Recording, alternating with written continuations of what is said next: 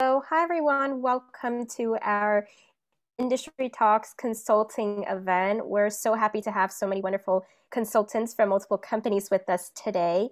Um, while people continue to trickle in, we can kind of go around and start with our introductions. So, for all of our panelists, uh, I'll just call out each panelist, and then if you could please just briefly introduce yourself, your company, what you do, and your um, work in the consulting industry. So uh, we'll start with Alex.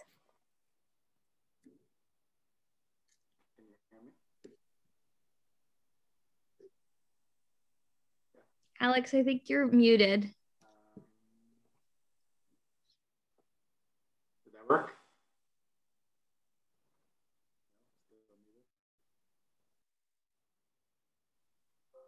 You're muted again, Alex.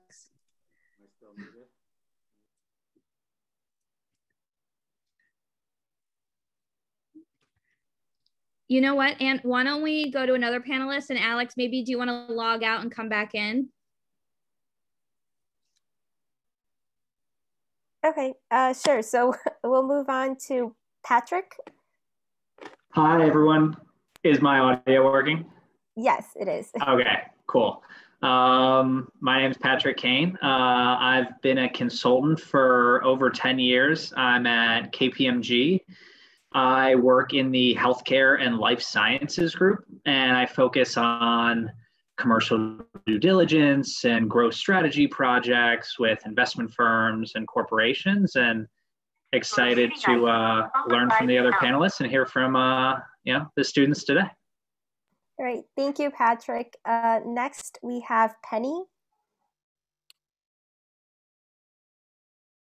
Oh, Penny, I think you're muted.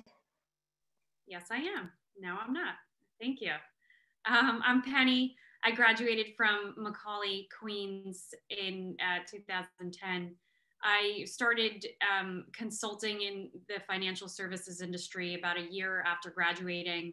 Uh, I worked in a number of different institutions. I launched my own consulting business about four years ago, a company called Thrivos Consulting we focus exclusively on consulting financial advisors and professionals and financial institutions that serve the end consumer on how to grow and be more efficient. And as of two weeks ago, I launched a new business called Journey Strategic Wealth, which is a financial institution. So done with done with the consulting as of last week to actually launch a firm that um, previously I had helped to consult. Congrats, Penny. Thank you, Patrick. Congratulations, Penny. Uh, that's wonderful. Okay, uh, Alex, I see that you're back. Um, would you be able to introduce yourself?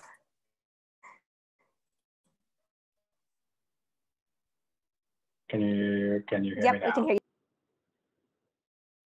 Great. Uh, so sorry about that, everyone. So Alex Rodriguez. Um, so I'm a director at EY Parthenon, based here in Austin. Um, I've been with EY Parthenon for about four years now after graduating from business school from Texas A&M University. Uh, our consulting work focuses primarily on uh, anything transaction related. Um, there's three three arms of EY Parthenon that exist um, within transactions. That's our turnaround restructuring arm, uh, which has to do with any sort of restructuring or liquidity issues that a company is going with. Our transaction strategy and execution arm, which is the arm that I sit in, which is primarily any sort of uh, transactions that are taking place in the operational side of getting those ready for a successful um, day one, as we call it.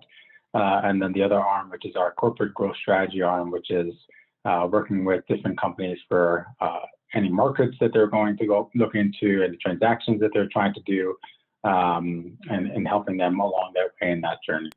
Great, thank you, Alex. And next we have Carolina.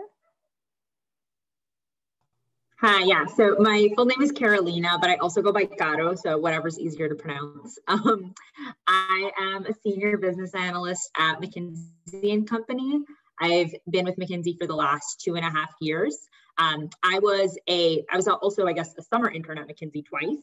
Um, so I've been at McKinsey overall probably almost three years at this point if you count the summer experience. Um, I, as a business analyst, have done work in a variety of different industries. I've done work in healthcare with pharma companies. Um, I've worked with financial institutions, public finance institutions. Um, I did a, a, really cool aerospace and defense project. So I'm truly a jack of all trades, master of none, maybe.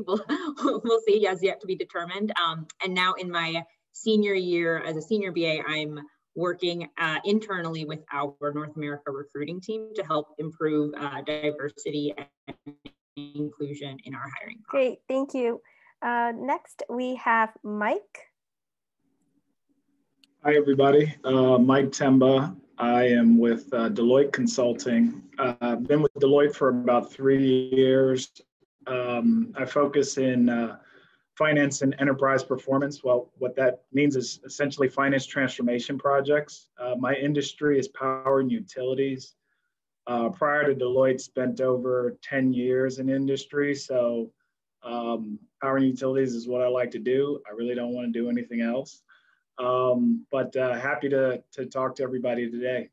Great. Thank you for joining us, Mike. And last but not least, we have Katie.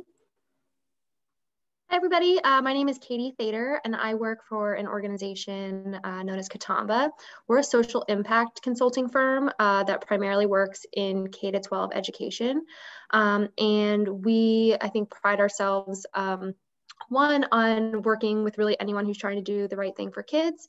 Um, and we do uh, some strategy consulting and then also stay on for uh, like early stages of implementation as well. And so uh, really excited to talk with everyone today about uh, the work that we do at Kitamba. Okay, thank you, Katie. So these are all of our wonderful panelists today. Thank you once again for joining us. And without further ado, I'll jump right into the questions that we have for today. So kind of going around the table, could each panelist please walk us through a typical day at your job? Because I know we have many different fields here, uh, different specific interests. And could you just walk us through what a typical day looks like? Um, anybody can start. I can go ahead. Um, a lot of this might sound familiar to some others, so I'll I'll keep it brief. So I start at like 8:30. We work with a team overseas. So the beginning of my day and the end of my day always is working with a team that's 12 hours separated from us. So we start our day working with them. Uh, we'll speak with partners on a project beginning of the day, depending what that project is, to make sure we're all aligned on specific tasks and the things that need to get executed as we work backwards from our end goal. Um, usually, uh, a lot of our work uh, that I do entails primary and secondary research. So, what that means is potentially running interviews with experts in different fields, getting a survey set up properly to gather customer feedback, and really focusing a lot on those types of research functions to build PowerPoint slides and Excel models, which we'll then usually use to have some sort of you know client update. That's not as much of a daily thing but we're always working to those client milestones whether it's a three week M&A project or a three month kind of corporate growth strategy project. But you know, I'll wrap it with every day is a little different. And I'm sure a lot of the other panelists can speak to that as well, depending on the type of engagement, what stage you're in at that engagement. Um, so everything changes a little bit, but uh, we're, we're always moving fast and the days definitely move quickly, I would say. Oh, the sequence of last uh, question, I guess I'll follow. So every day is definitely different. I'm in a little bit of a different situation, having left the corporate consulting world to, to do my own thing. And so the day is really split, I would say, in three. The first would be handling individual client engagements. So a financial advisory firm might hire my team to help them manage profit compression or manage integrating next gen talent on their team name any any one of these problems that we have to solve. And so um, you know in any given day we may be working with them for an hour. We usually do calls with our individual teams um, two times a month for one to two hours. And so we may be actively solving problems with them we may be saying to them, hey, you know, we looked at what you sent us and, and here's our suggestions on how you want to powerfully move forward with hiring this person, whatever it may be. So that's one thing. Something that's a little bit unique about my consulting company is it's a combination of technical consulting and behavioral coaching. Um, I feel that um, firms pay consultants a lot of money sometimes to come in and give them a, a plan. And I, I think real consulting comes to life when you understand the people and what drives people to, to act a certain way or what, what causes culture to be created a certain way. So um, we work with individual clients on any given day. We might be working with a bigger institution to do a presentation on GameStop. That's a presentation I did last week about what was going on in the markets. And then the third part of the day is just personal branding for the business. So uh, I'm on YouTube. I run a YouTube series. Um, you know, getting the word out there about the type of consulting we do and the way we view the industry. I'll just add on, I think, to kind of what um, Penny was alluding to with um, kind of your day to day. So, all of the things that Patrick and Penny mentioned um, hold true. Um, I'd say, you know, as an as a consultant, um, depending on kind of what level you're at or, or the particular firm that you go to, um, business development is generally part of um, the job as well. And, and, what that looks like is typically um, supporting proposals um, or pursuits to try to generate more business for the firm. Um, some of these are formalized pursuits where you know a company will issue a request for work you know we need a new uh, accounting system implemented. Uh, we need a restructuring of our finance organization.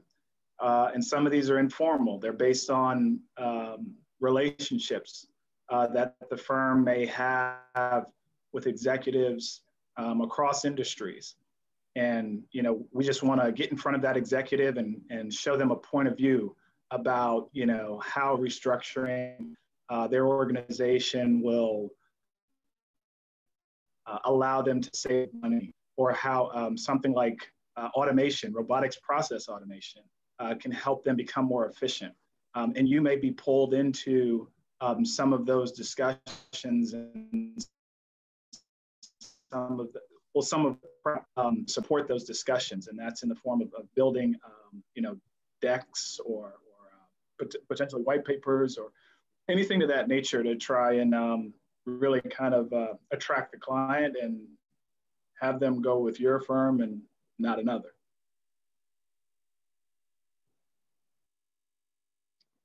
Um, I can go next. Um, I I'll just try to build on um, what everyone has said so far. I think that um, in case helpful, what I um, would share about what the day-to-day looks like at Kitamba is I think different consulting firms have um, structures where maybe you work on one project uh, for three or six months and then you transition to another project. Um, but like for that period of time, you're really focused on on one client. Um, the way we're set up is you could expect to be on anywhere from three to five projects at any given time. Uh, essentially like i think the day to day like is quite similar. You're preparing for client updates. You might be doing research and analysis or building a financial model. Um, but uh, the the you end up kind of working on multiple projects at once and we try to like make it so that the the length and intensity and start and ends are sort of varied so that you know when a project is kicking off or wrapping up and it's really intense you don't have all of your projects doing that at the same time. Um, and then this is uh, obviously we're in the pandemic and, and there's very little business travel happening. I think that one thing um, that might be a little bit different about Kitamba is we don't travel on site quite as much as other consulting firms might. And so we you might travel for a big meeting, um, but the actual day-to-day work um, would be done in one of our offices. I want to talk a little bit about like the analyst experience specifically, since um, I feel like that is still something that I, I, remember really well, just starting out at McKinsey and, and what that was like on a day-to-day basis. Um, it's really intimidating at first because your your day will be made up of a ton of meetings where you're going in and talking to clients and they're using jargon that you may not understand and you're just trying to keep up and, and stay afloat as, as quickly as you possibly can to ramp up and, and you know get all of that content knowledge. If, if you're in an industry that's really esoteric to you um, like my first project was like for a pharmaceutical company. I, I, I did not major in science. I didn't know anything about the pharma industry. Um, so there was a lot of learning that i had to do really quickly. Um, so i would say when you're, you're first starting out your your days are going to feel a bit like a blur and like you're just trying to stay afloat and trying to understand like what everyone is talking about. Um, maybe reading like news articles about your client, reading more about the industry, you know, contacting experts so that you can get up to speed for yourself. Um, and for me, I think what was really helpful and continues to be helpful in the job that I'm in now is having a structure of like check in and out with your manager. Um, so I, I, would often work in a team room with my manager and then maybe one or two other analysts on the team was. And at the beginning of the day, uh, depending on what time and what team norms we had set for ourselves, um, we'd all come in and we'd do a team check-in and we talk about all of our priorities for the day. And then if there was anything that I felt like I needed my manager's input on, like that was the time to raise it and say, hey, can we grab time this afternoon to like problem solve this a little further? Um, and then you have a checkout at the end of the day. Again, depending on what your team norms are, um, but at the end of the day, you'll talk through what were the priorities you set this morning and what got accomplished, what's maybe delayed, and then is there anything that you need to work on in the evening? So that's kind of the like analyst perspective. Okay, thank you, uh, Caro. And the last, uh, I believe, Alex.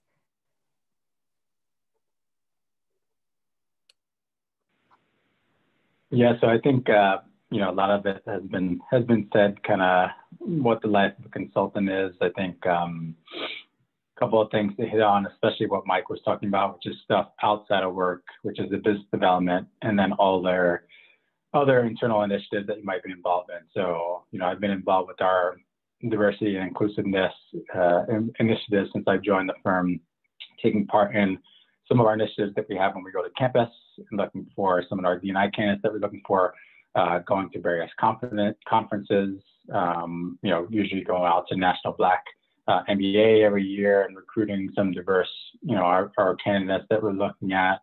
Um, and then other sort of community impact things. You know, I was been involved um, with our college uh, MAP program, which is a mentorship program that takes place throughout the school year that we're, we're mentoring um, a school that has juniors and seniors that are preparing to go to school. Um, we meet them once a month to go over various topics to prepare them, you know, to get ready to go to college, you know, finance, um, resume building, um, etiquette, all those sort of things. Um, working with some of some of these these students from these underprivileged areas and, and hoping to you know, move them along in their careers in their life. Um, and that's been a big impact for me, and um, especially having that opportunity being in Chicago. Um, you know, it's kind of one of the best things that we would take place in, you know, in the office on a Friday is to meet with them, you'd have lunch with them, connect with them, uh, and then still, you know, keeping in contact with some of those students now. So a couple of them now are, you know, in their second, third year at college, you know, they're still reaching out to me and asking me questions and things like that. So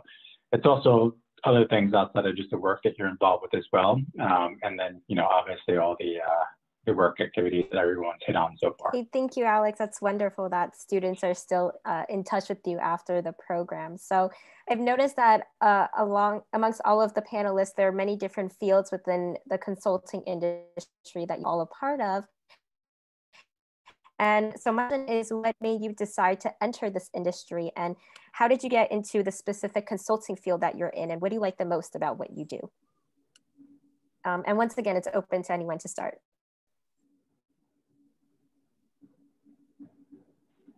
Waiting for you. I can... I'll go first. Um, yeah, go ahead.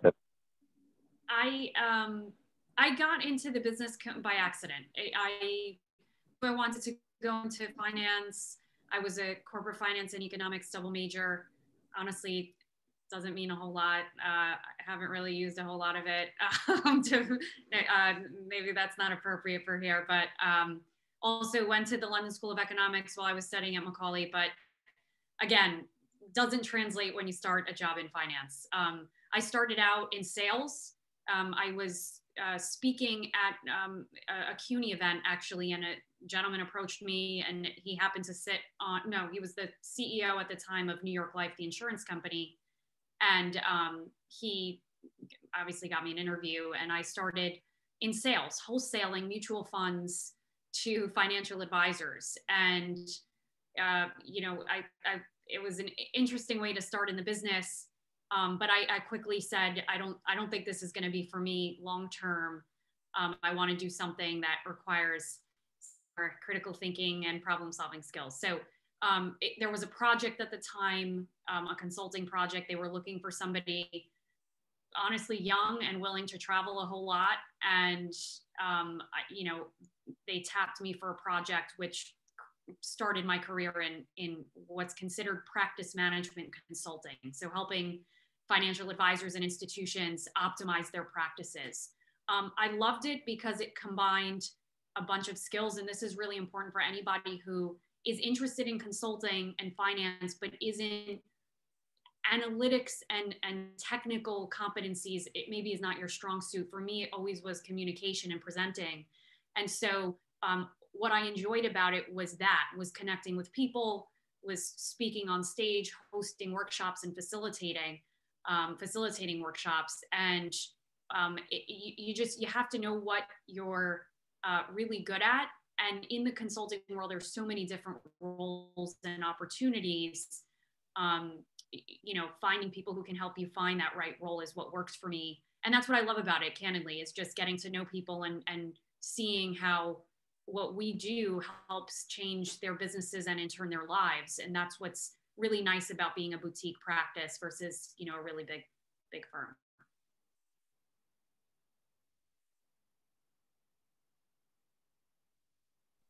Okay thank you penny. Uh, does any other panelists want to go next yeah i, can go next anne so i think um, what kind of brought me into consulting i really didn't know much about consulting until i got to business school and really um, had the opportunity to meet some different consulting firms while at school. Um, and what kind of brought me to the table was a couple of things. Um, basically, the amount of knowledge that you're able to learn uh, and working on different industries and different clients and working with different people. You know, that was something that kind of really interested me in, in being able to learn a lot of information in a short period of time.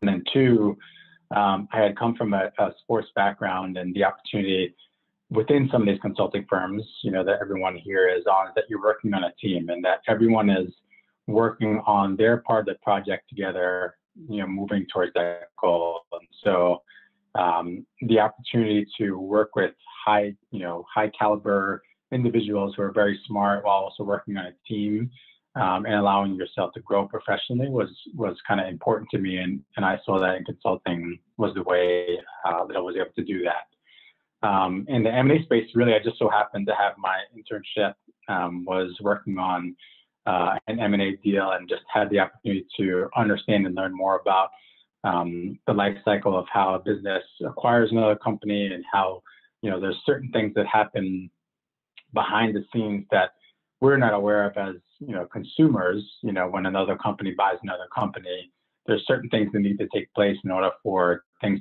to continue smoothly so that there's no business operations um, you know impact to the customer. And so to me it was all that work behind the scenes and understanding all the work that goes into it um, you know and how it was complex and interesting and you know the intensity sometimes of that um, you know it was that environment that really drove me to, to move back towards m&a after leaving school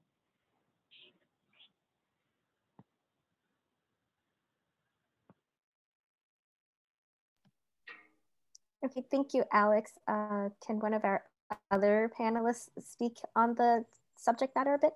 Sure, um, I'm happy to go. Um, I came into consulting after working in public education for a number of years. Um, and so prior to joining Kitamba, I um, was a director of operations at a charter school in Brooklyn. Um, I think that what drew me to consulting, and I think Kitamba specifically, was the opportunity to have like a a wider impact and so the the work that we do potentially like could impact school districts or whole schools and um, that was that was really appealing to me. I think on like a very education specific level the mission of working with anyone who's trying to do the right thing for kids really stuck to me. I think that uh, education can be a really political issue uh, and the idea that we're kind of willing to work with anyone who who has children's interests um, at the center of their work um, uh, was exciting to me. Um, and then i think just to echo what um, i think alex you said like i love the people that i work with i think consulting tends to attract um, people who like to move really quickly who are interested in problem solving who um, also like really want to deliver a, a superior um, product or service to their client. Um, I love working at um, an organization where I feel like um, I'm being challenged by the people that I work with every day too. Thank you, Katie. Uh, we have a few more panelists. I can jump in. Something Katie said there about the people we work with is it rang so true to me, especially working on teams, right? I knew that I wanted to work with other smart people to constructively solve problems. And obviously, you'll get tasks that will put you into your own lane sometimes, but you're always pushing each other and you're collaboratively, collaboratively being competitive. Um,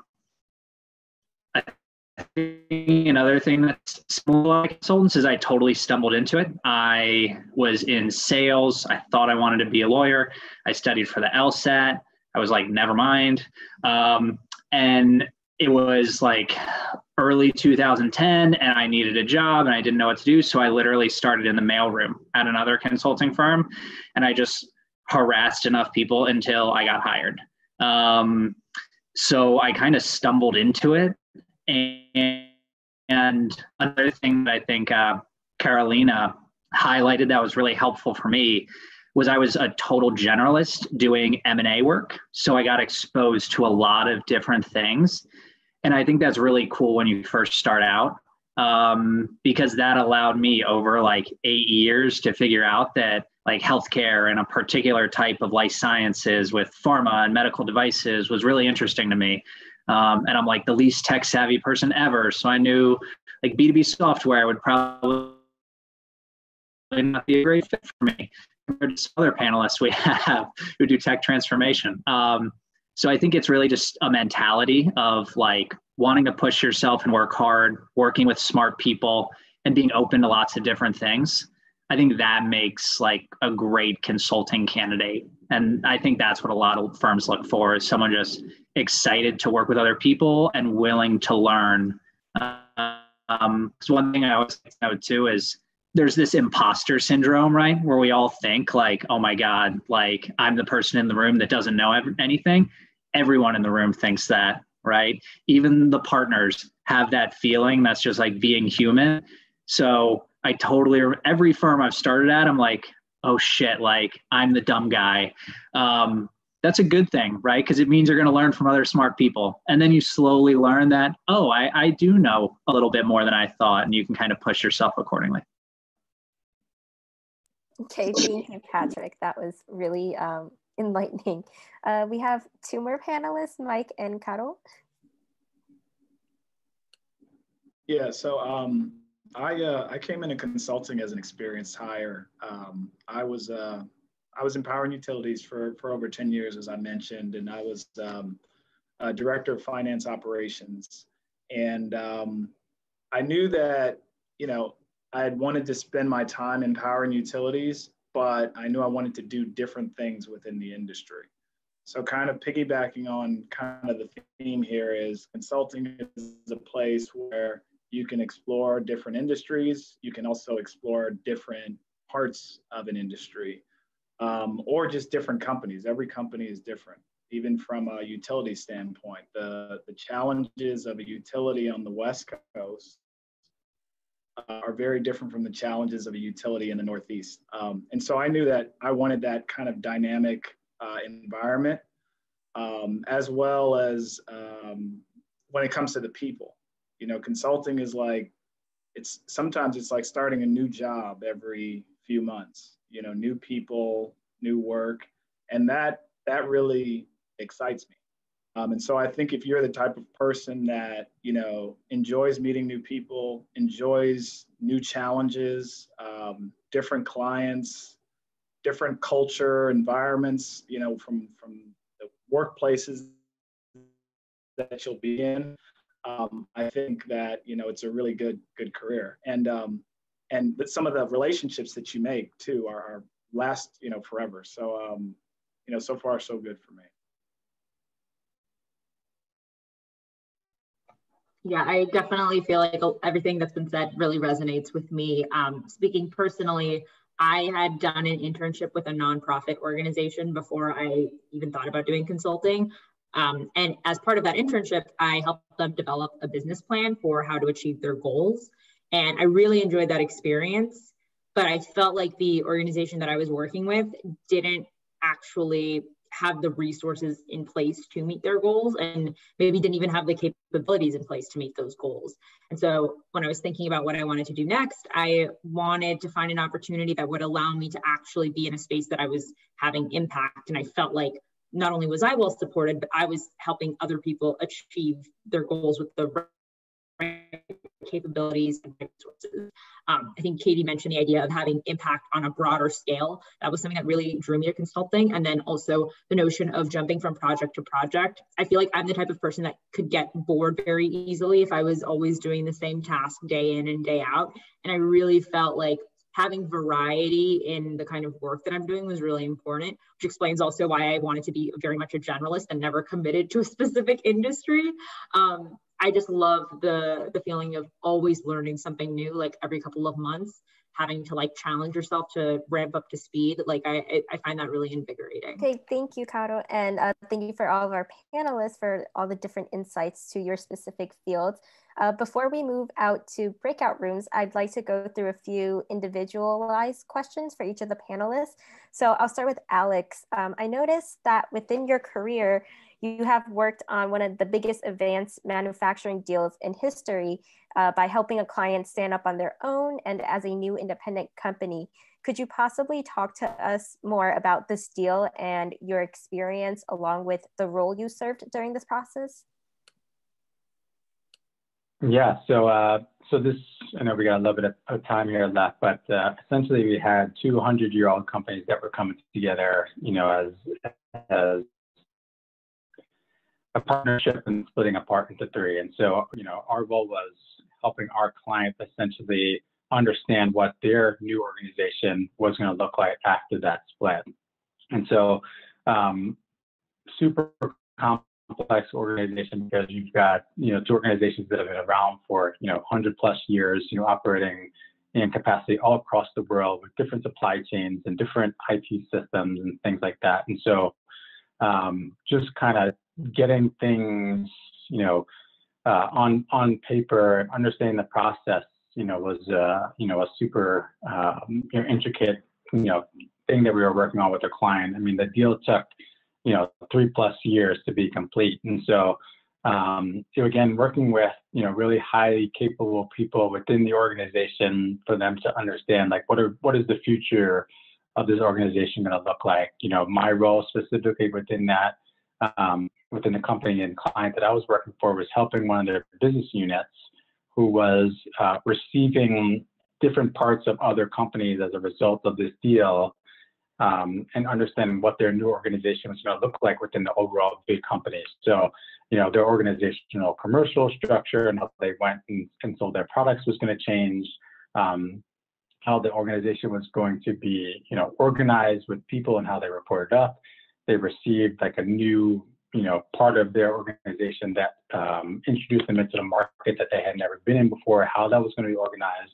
So it kind of went across, you know, bringing all those facets together um, into working working toward that one goal into being a new business unit and being successful um, was kind of the, the way that we went about it. And then, you know, obviously just a, a whole bunch of myriad of things going on at the same time as you know different things in the market and and all those other things that are taking place. Um, you know it takes it makes things super complex but again you know you have a good team you with you know you build a client rapport and our client was uh, she was awesome. She just really um, led her team, you know, when we needed to get things done, you know, very successfully. And so it made working with her, you know, and that and that client uh, and the project really enjoyable. Okay, thank you, Alex. That's a really amazing um, experience that you have there. Next, we have for Patrick. Uh, I noticed how you currently focus on health sciences at KPMG, but you had majored in history at Vanderbilt. So could you walk us through, I know you mentioned you started at the mailroom, but kind of how you made the transition from a history major into working on health sciences and consulting? Yeah, um, it's an interesting story. I literally took geology in college. So if you're ever afraid that you don't have the technical chops to get somewhere, um, there's learning doesn't end when you graduate. Um, so what really helped me branch in was the consulting firm I was at prior to KPMG was a boutique consulting firm that does what's called commercial due diligence. It's uh, an aspect of a merger and acquisition process where an investment firm or a corporation that's looking to buy a potential company will ask a consulting firm to produce a study that objectively assesses the business and the market it's in to effectively say, you know, is this market attractive and is this potential company that we're going to buy positioned well within this market? Um, one of the cool things about this type of work, and similar to a theme you've been hearing a lot, is it lends itself to being a generalist when you're first starting out. So they put me on everything from materials for biotechnology processes in life sciences to a manufacturer of commercial grade windows. So every month I'm getting thrown a completely new topic, and they very much are encouraging you to understand which industries are most interesting. Uh, because really is to develop functional consulting skills that are applicable to lots of different projects and lots of different industries. And as you advance in your career, and some folks do it earlier where they're like, I know I'm interested in a certain industry. I kind of had no idea. Um, it was easier me for me to figure out what I didn't like versus what I did like. Um, but when you build the right skills that a lot of consulting firms, you know, a number of them, you know, my fellow panelists here included, uh, will equip you with, that then gives you the ability to say, this industry really interests me, and you're able to narrow your focus accordingly. Um, I had an open conversation with my partner that I was a history major and I'm really interested in healthcare and life sciences. And it was very much just I needed to constantly learn. And I think one of the themes a lot of other folks have talked about is you need to be naturally curious to succeed in consulting, I think. Like you want to, you need to want to learn about whatever topic it is. And thankfully, the healthcare and life sciences space was one that just naturally interests me. So every project that starts, I'm on YouTube, I'm reading, I'm trying to consume as much as I can. Um, and I'm asking simple questions with the understanding that I will probably never become an expert, but it's those functional consulting skills that can allow you to move into a lot of different industries. Thank you, Patrick. That's comforting for a lot of us knowing that you don't necessarily need to know exactly what you want to get into to work in that field. Totally. Um, next, thank you. We have Penny. So I noticed that you mentioned you have a real talk approach to consulting. Could you elaborate on what your real talk approach is and how you use it within, you know, your day-to-day job?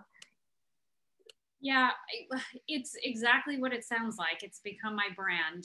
Um, you know, I think the financial services industry is it's it's an interesting industry to be in. I never quite felt like I belonged in corporate culture and and consulting in house at some of the firms I consulted in before launching my own business.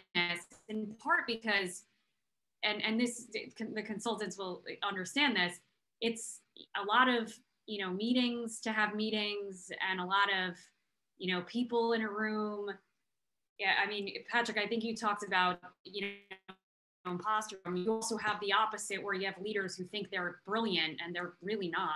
And so there's just so much of the smoke and mirrors and red shiny objects. And so for me, my my brand in speaking, and I'm a, a, a speaker, so I get paid to talk across the industry, um, which is a whole other field for anyone who's interested in that. But it just became being really honest and um, direct with the end client. For me, that is the financial advisor and financial institution. And saying the things that, number one, sometimes they don't want to hear, or number two, getting to the heart of the issue. The one thing I've seen the past 12 years or so work, working in this business is that firms will, I sometimes call them slow learners with cash. They'll keep paying consultants to tell them the same thing without fundamentally changing what's wrong with the company. And so, um, you know, one example is wanting to attract more women into the financial services business and doing all these initiatives and putting on these workshops and and it's like well if you don't treat women poorly in your company then more women will come work here and it's sort of really simple so my approach to consulting always is and and people hire us because we're very candid and very genuine and you know we we do lead, lead with compassion but we will be honest about what we see and hear and what we believe um, that happened by accident. I was very vocal about things that I saw wrong in the companies that I worked for. Um, I ultimately left those companies because you're not really supposed to talk like that. But I did find a place for my in the independent consulting world where it, for some people it's a breath of fresh air and and you know hearing from the same sort of leaders who all look and sound the same and then to have somebody come and say look we can talk through the problems and talk through the solutions we've built you know but let's actually talk about what you're fundamentally not willing to change and that's why you're always going to have these problems. So i sort of built my brand that way and i started um, of consulting is business development. You have to land clients and you have to build a name for yourself.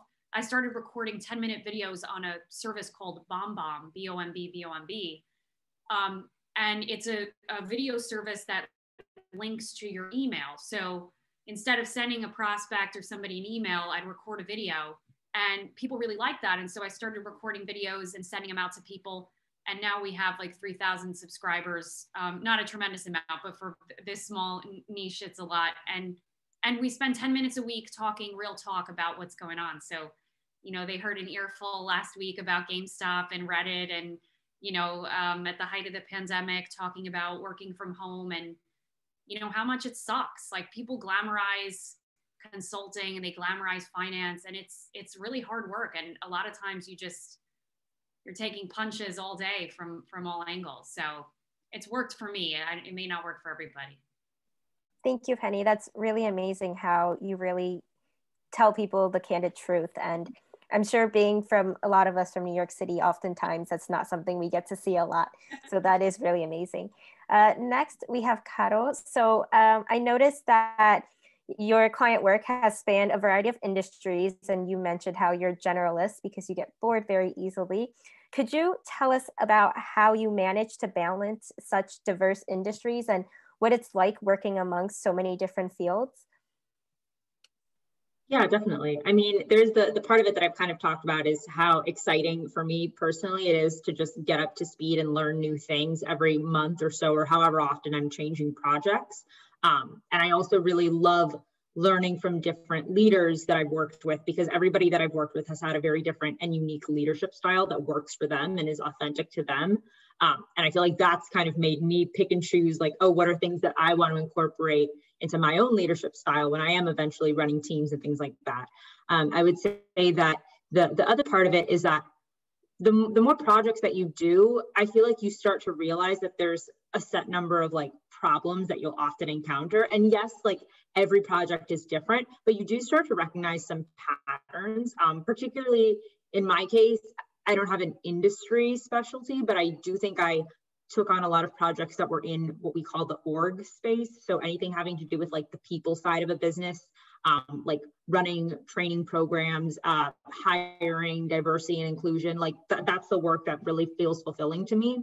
Um, and you start to see a lot of common problems across very different industries and so you do start to learn about like what are what are the challenges that businesses are facing all over the world today because of you know the economic situation that we're in um, and i think that is very helpful it's like a helpful skill to have and develop is that pattern recognition when you're doing like a ton of different industries uh, in a given year to me that that's really helps balance it out that's wonderful. And I'm sure that's also very reassuring for people who are interested in many different fields. Uh, next, we have Mike. So I noticed that you've led large scale finance transformation programs. Could you tell us more about these programs and your roles in the project? Um, sure. Um, generally, with um, finance transformation, um, you're usually tackling kind of multiple facets of um, within an organization. So bringing kind of people, process, and technology and making changes around all those three different areas. Um, sometimes uh, companies are forced to do it. Um, in this particular case, um, one that I'm thinking of, they were forced to do it because they um, had received uh, kind of the worst grade or marking that you could get from uh, an audit, which is a material weakness. Um, and this company, a utility, uh, wanted to continue to do more mergers and acquisitions. They were accumulating utilities along the Northeast. So in order for them to do that, they had to go through this finance transformation uh, to lift this material weakness and, and continue with acquisition. So I led a team in the finance area um, with uh, restructuring um, the finance organization's people. Um, essentially, everyone in a particular group uh, where there were multiple kind of challenges that were going on. Any, everyone in this particular group had to unfortunately reapply for their job um, because we had a um, an op model uh, restructuring that we were going through there. Um, so that was that was one piece of it, and probably one of the challenging parts of being a consultant. Um, fortunately, most of the folks were able to retain their jobs or move to other organizations um, within the, the company. Uh, the other piece was uh, we were rolling out a large um, uh, accounting and finance system, ERP system, um, that was going to help automate a lot of the processes in the finance organization. Um, so that's kind of the technology piece of it. Um, and then kind of around all of those areas was process, right? We wanted to um, uh, optimize all the processes within the finance space essentially, I think Alex alluded to it. First, we had to understand what they do today from a process standpoint. And then coverage um, best in pra class practices, which you know our firm has gained over the years of doing this hundreds of times. And say, okay, from a process standpoint, you're here, you want to get to here, best in class. What are some of the steps that you need to take to do that? Um, and so I led uh, those three kind of areas within finance to ultimately transform the finance operations group, um, get the material weakness lifted so that they could continue to um, uh, go through M&A activities. Um, so that's that's it kind of at a high level in a nutshell. Well, thank you, Mike. That's uh, that's really interesting that you know the whole company actually had so many of its employees had to reapply, but I'm glad to hear a lot of them were able to keep their jobs and ultimately your project was very successful. And uh, for our last question before you move out to breakout rooms, Katie, I noticed that your background consists of working with children in education and you started in Chicago. And you mentioned that you transitioned from Chicago Public Schools to international operations at Kitamba. Could you share with us your experience working within different areas of the US and you know the different school systems, maybe from even just between, you know, Chicago and New York? Yeah, I think that um I think that what I uh, would say is, and, and kind of builds on um, what Carolina and I think others have said is like there is some um, there is some pattern recognition of you know when you work in different geographies or different cities that um, they are sometimes like trying to do similar work or facing similar challenges. I think that one thing that has been important is that even when that's true, like every context is different. And so what might work in New York, you know, might not actually work in Chicago um, for a number of different reasons. And I think that um, it's sort of balancing like having experience and, and knowing what might work, but also really um, when we go and, and work with a client, like really trying to value and respect the wisdom in the room. I think um, in a lot of industries, I think um, in education being one of them, like you go into a room and someone has worked for the school district for 20 or 25 years and has seen a lot. And so I think it's really important to go in with an open mindset of you know downloading all the information and really taking to heart uh, the experiences that they've had to inform what might be the solution in that given context um, I think that uh, we never, and I think this goes like with all consulting firms, you never kind of want to go in and be like, we know everything and this is exactly what you should do. And so it's really important to take all the steps to understand, ask the questions to understand your clients and the um, specific um, nuances to, to their situation um, in order to serve them best. Yes, thank you, Katie. I'm sure nobody really likes it when you've been there for a long time and somebody comes in and tries to tell you otherwise. So uh, we have, um, we're actually going to start and move into our breakout rooms. Um, but before we do, uh, I wanted to just remind everyone that the in the breakout rooms, this is the time for you to ask each of our panelists uh, any specific questions you have about their own career trajectories, their backgrounds, and we encourage you to turn on your camera so that there's more of a one-on-one in-person feel, but of course you can do it as whatever's comfortable. But uh, we're going to have about 10 minutes with each panelist. So Harleen is going to help us move around into the rooms. Nobody else actually needs to move or do anything. So we're going to uh, go ahead and get started.